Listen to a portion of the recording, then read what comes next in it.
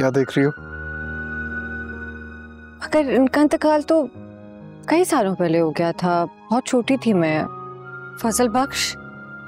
मुझे कुछ समझ नहीं आ रही।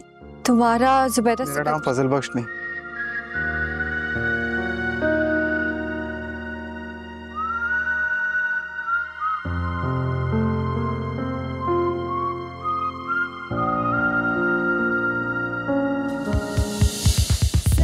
इश्क मुर्शिद कल शब आठ बजे।